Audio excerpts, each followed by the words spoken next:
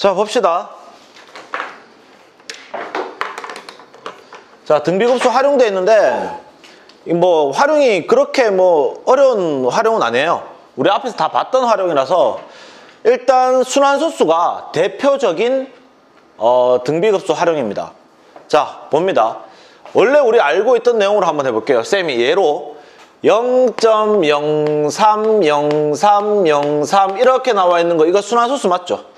맞지? 자, 얘는 우리 정리할 때 보통 어떻게 쓰냐면 0.03이랑 0.0003이랑 0.000003이랑 이렇게 더하고 있는 거란 말이야. 이해했나요? 자, 이렇게 더하고 있는 건데 얘들이 지금 보면 등비수열이에요. 공비가 0.01, 100분의 1인 등비수열이라고. 그러면 등비급수가 우리 지난번에 1-R분의 A 했죠? 쌤이 갑자기 기억이 안 난다. 우리 등비급수까지는 했죠? 1-R분의 A이기 때문에 자 봅니다. 얘는 정리하면 1 자, 이거 구하고 하자. 여기서 보니까 초항이 뭐예요? 100분의 3입니까? 분수로 바꾸는 게 편해요. 자, 그 다음에 공비는 얼마예요? 100분의 1이죠? 그러면 직접을 딴다. 1 R 분의 뭐예요? 초항 100분의 3입니까? 그러면 분모 문제 전부 다 100 곱합니다. 분모 문제 다 100 곱하면 얼마 돼요? 얘는 100 곱하면 100 빼기 1이니까 99죠. 그 다음에 여기 100 곱하니까 3 나오죠. 이렇게 해서 만든 거였어. 근데 이렇게 푸는 미친놈 없어요, 실제로. 원래 우리 이거 정리하면 얘는 0.03에 이렇게 땡땡 붙어 있잖아. 그 우리 정리할 때는 보통 바로 정리 나오죠, 이거. 99분의 3. 기억납니까? 우리 예전에 풀었던 게 어떤 거냐면 이런 거 있죠. 만약에 1.235 이렇게 있다. 만약에 맞나? 이렇게 나오면 어떻게 해요? 990분의 처음부터 끝까지 1235에서 순한마디 앞에까지 얼마? 12를 빼주는 케이스였어. 근데 이렇게 푸는 게 일반적으로 맞죠? 근데 학교 시험에 나온다면 빈칸으로 만들어버리겠지? 맞죠? 왜? 답을 구하라면 다 이렇게 풀어버릴 거니까. 그럼 얘도 마찬가지. 등비급수 이용해서 문제 풀어버리면 어떻게 나오냐면 얘는 1.2까지는 그대로 놔두세요. 어차피 우리는 반복하는 걸 찾는, 찾는 거기 때문에 더하기 얼마예요? 0.035죠. 또 더하기 0.00035 더하기 또 계속 이래 나오겠죠? 맞지? 그러면 요 앞에 라인은 일단 수열하고 연관이 없는 놈이기 때문에 우리가 볼 때는 뭘로 본다? 얘는 잠깐 놔두고요. 얘만 정리하겠다는 거야. 그럼 얘는 10분의 10입니까? 더하기 얘 정리하는 거죠. 이거 등비급수 맞지? 초항이 얼마예요? 1000분의 35 맞나? 공비는요? 100분의 1이죠? 어차피 얘가 지금 두 칸씩 계속 밀리고 있으니까 그럼 1 마이너스 얼마? 100분의 1 됩니까? 요것만 먼저 정리하면 일단 얘는 10분의 12. 그 다음에 어떻게 돼요? 얘는 1000 곱하면 얼마 돼? 1000 곱하면 1000 빼기 12가 그럼 얼마 나와요?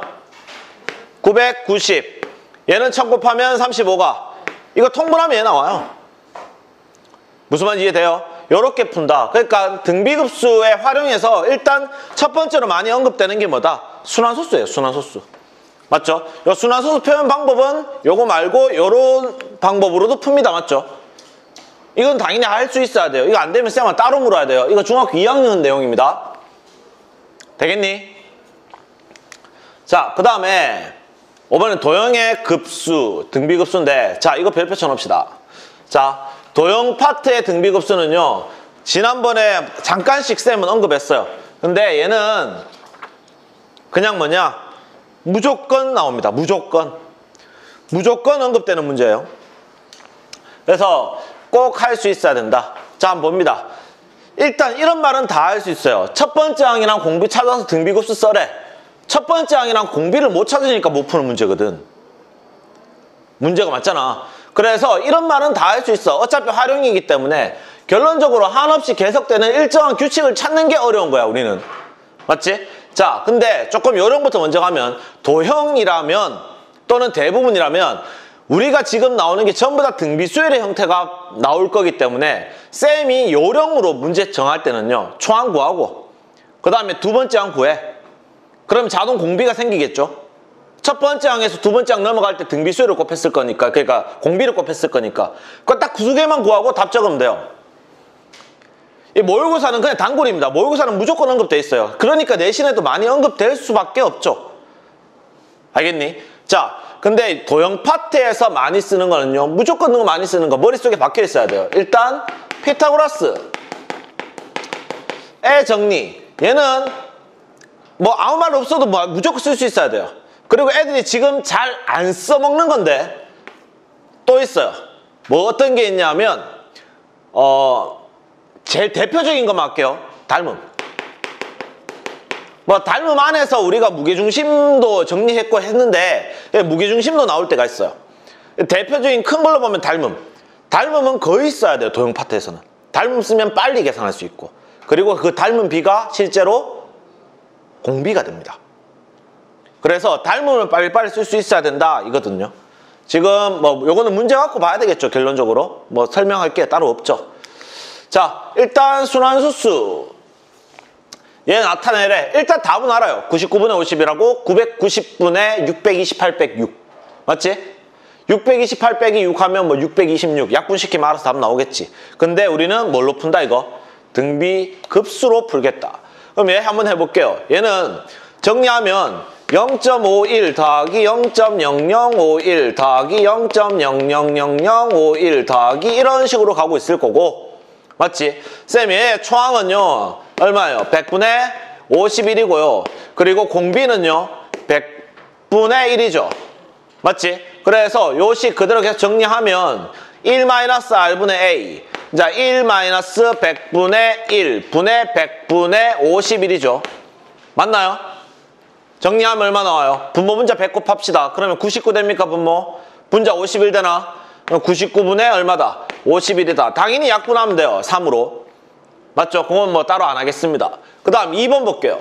2번 마찬가지입니다. 0.6 더하기 0.028 더하기 0.00028 이렇게 적어야 돼요.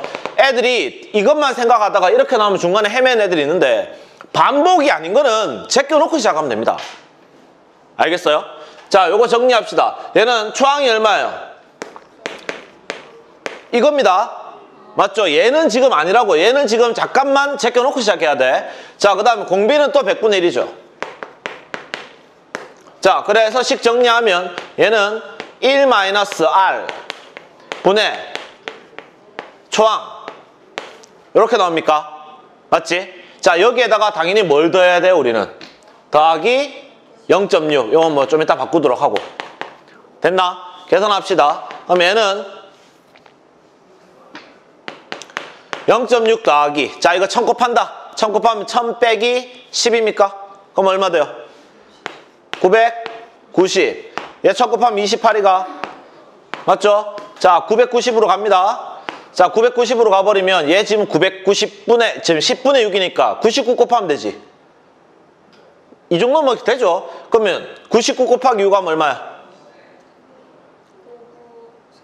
594죠. 100 곱하기 6에서 6 한번 빼면 되니까. 594에서 뭐 한 거야? 28 더한 겁니까? 맞죠? 요거 정리해서 답 정리, 뭐 약분하면 돼요.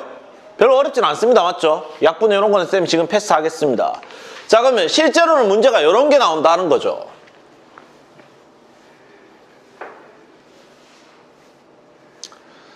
자, 이렇게 좌표로 나왔어요.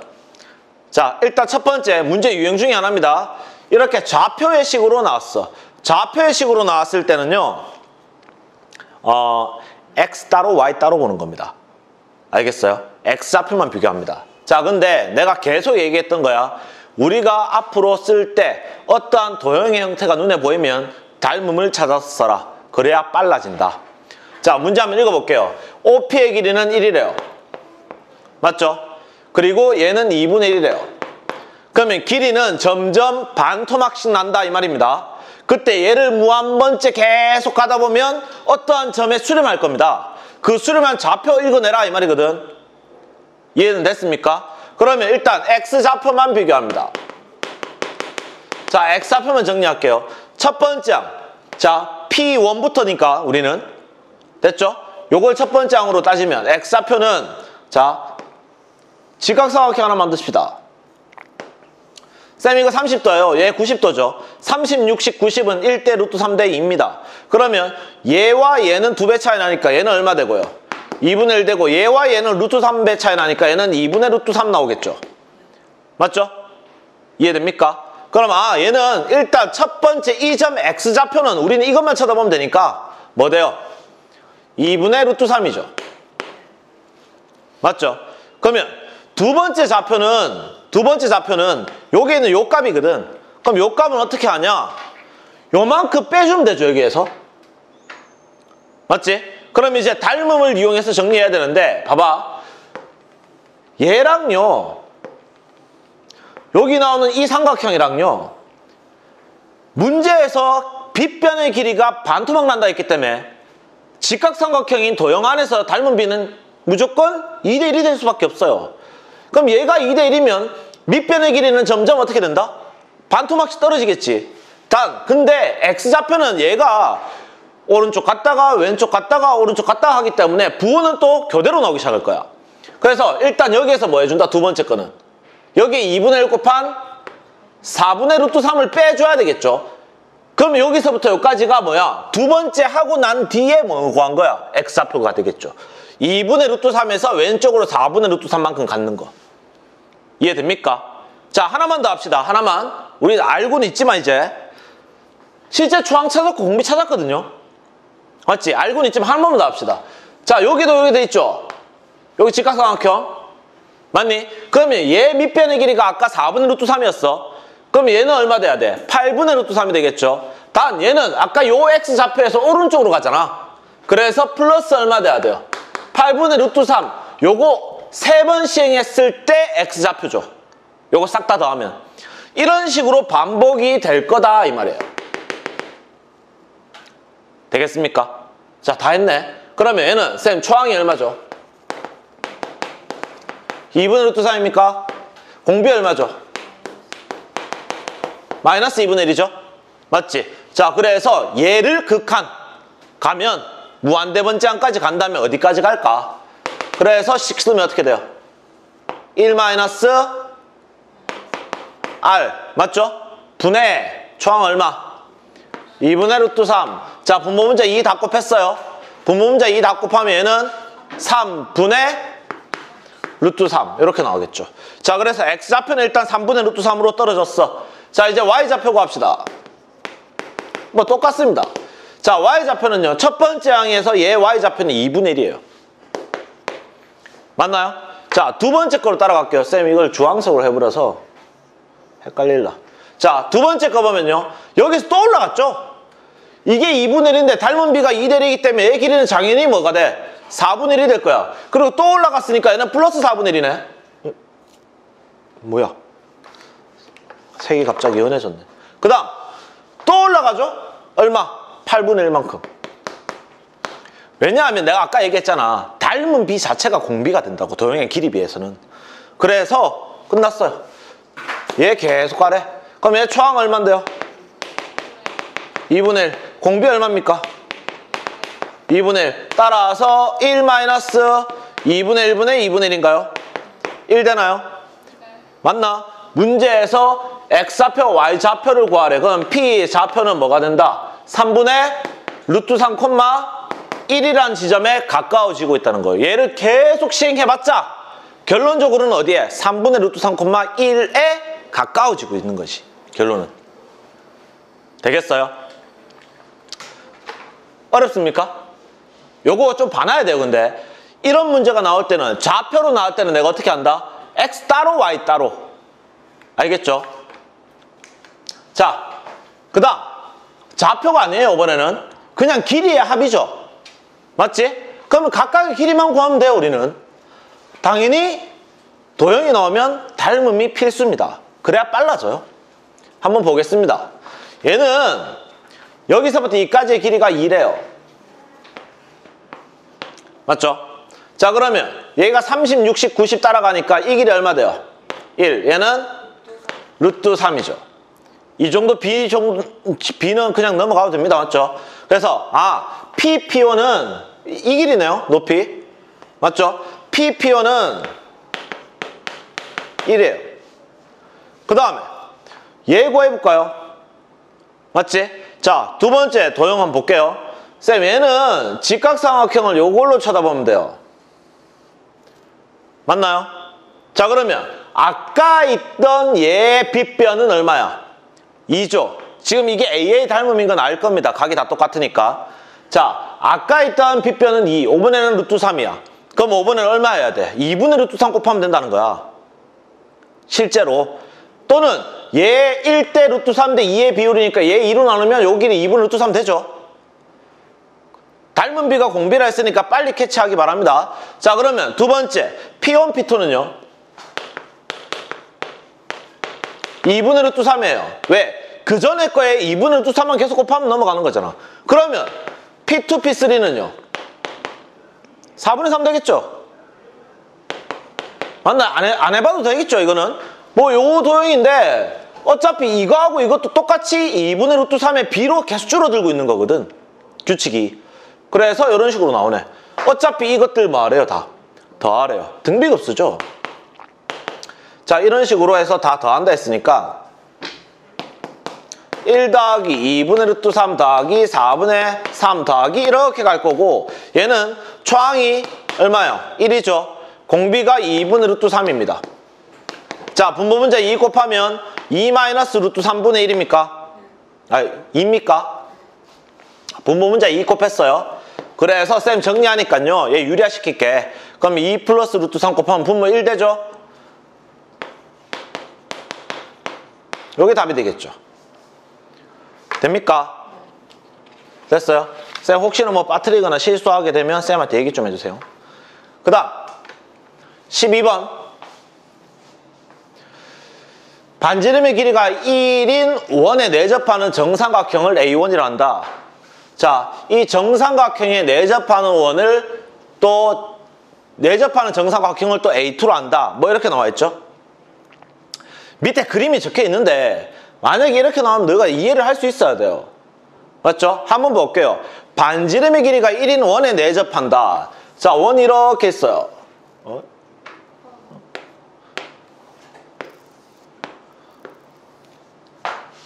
음, 괜찮네. 자, 봅니다. 그 다음에 이 안에 접하는 얘가 지금 A1이야. 맞죠? 그 다음에 이 A1의 내접원이라잖아. 그러면 이 안에 다시 뭐가 있어야 돼요? 원 이렇게 있어야 되죠? 음, 뭐 괜찮은 것 같아요, 5분의 더니. 그럼 여기서 뭔데? 또 이렇게 나오겠죠? 맞죠? 얘를 보고 우리는 또 뭐라 한다, 이제? A2라 한다. 자, 이렇게 반복하고 있는데 이 정삼각형, n번째 항에서의 정삼각형의 넓이를 구하라는 거잖아. 맞죠? 자, 그러면 자, 시행을 봐야 돼, 시행을. 봐. 문제에서 한 번 시행한 요 삼각형이 A1인 거지, 지금. 그럼 n번째 항이니까 이 삼각형들이 어떤 규칙으로 가고 있는지 한번 보면 되지. 자, 첫 번째 A1부터 넓이 구합시다. 자, 정삼각형 넓이 공식은 알고 있죠?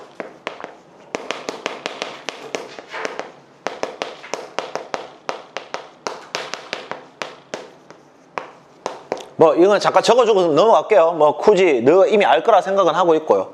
자 그래서 4분의 루트 3 a제곱이에요. 근데 지금 문제에서 반지름의 길이가 1이라 했기 때문에 요 지금 반지름 1이죠. 반지름 1이면 요게 1이지. 자 괜히 그랬죠. 편하게 생각하자. 자 원이라 했어요. 맞죠? 정삼각형이 이렇게 그려져 있어. 근데 봐봐. 지금 여기서부터 여기까지 이게 1이죠. 맞지? 그리고 얘는 정삼각형은 외심도 되지만 내심도 되고 무게중심도 됩니다. 그럼 얘가 2대 1이니까 이 길이 얼마 돼요? 2분의 1입니까? 맞지? 정삼각형 높이 어떻게 구해요? 2분의 루트 3a입니까? 맞죠? 근데 공식으로 따지면 이 2분의 3이 2분의 루트 3a가 돼야 되잖아. 그럼 a가 얼마 돼야 돼? 루트 3이 돼버리죠. 결론적으로 지금 첫 번째 있는 삼각형의 한 변의 길이가 얼마다? 루트 3이라 이거야. 그러면 내가 다시 해볼게요. 요 한 변의 길이가 루트 3이래. 그러면 이거의 넓이는 어떻게 구해요? 4분의 3 4분의 루트 3 곱하기 루트 3의 제곱이 될 거고 4분의 3 루트 3이 됩니다. 맞죠? 이해됐어요, 여기까지? 그 다음 이제 또 어떻게 할까? 그 다음 또 어떻게 해요? 또 닮음 찾아야죠. 닮음이 문제인 거야, 애들이 나중에 되면. 자, 실제로 지금 이게 루트 3이죠? 그러면 요, 요 도형 요한 변의 길이 구하려면 뭐가 필요해요? 반지름이 필요하죠? 맞지? 그럼 요거에 요 원에 반지름부터 구하자. 요 반지름 어떻게 구하죠?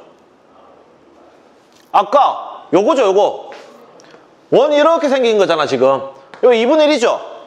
맞지? 자 그러면 끝나버린 거야. 애들이 쌤 정삼각형 한 변의 길이를 아직 안 구했는데요.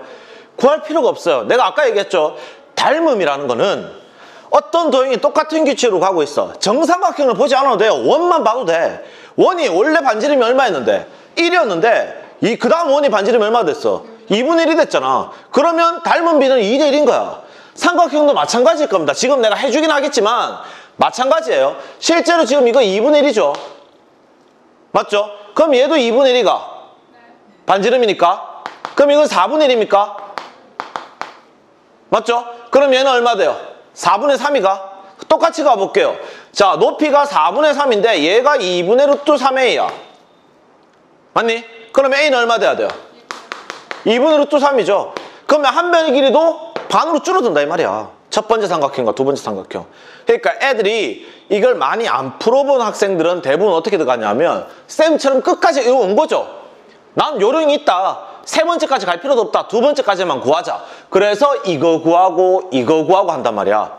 맞지? 근데 실제로는 이것까지도 할 필요가 없다. 뭐만 한다면 반지름만 한다면 이 반지름이 2분의 1이고 이 반지름이 1이니까 얘는 어떻게 된다? 2대 1의 닮음이다. 맞죠? 그러면 길이로 언급한다면 공비는 얼마 돼? 2분의 1이 되겠죠. 맞죠? 그럼 넓이는 얼마 될까요? 4분의 1이죠.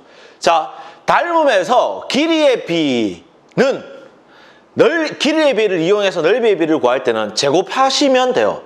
2대 1이면 얘들 둘 다 제곱한 4대 1이 넓이 비가 돼요. 그럼 난 넓이 비로 그냥 바로 가도 된다는 거지, 실제로. 맞죠? 신발이 벗겨져서. 자, 됐나? 됐어요? 그러면 첫 번째 넓이 구하고 두 번째 넓이는 어떻게 구해요? 거기에 뭐만 곱하면 돼? 4분의 1만 곱하면 된다는 거죠. 내가 실제로 넓이에 대한 공식을 다 찾아서 구해도 되지만 쌤말뜻 됩니까? 이거 별로 안 어려운데요. 생각을 못하면 어려워지는 문제죠. 그래서 가봅시다. 얘는 첫 번째 넓이는 구해줘야 돼. 초항이 필요하니까. 맞지? 첫 번째 넓이부터 구합시다. 쌤 얘는 한 변의 길이가 루트 3이에요.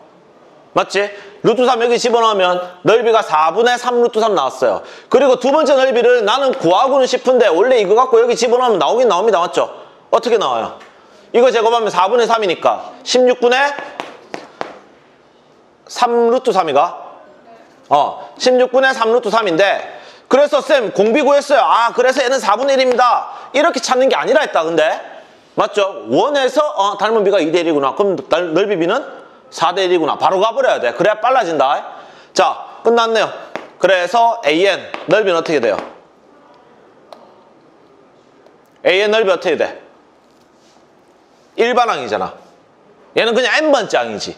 초항이 얼마고요? 4분의 루트 3. 아니, 4분의 3 루트 3. 맞나? 공비는요? 4분의 1의 n-1승.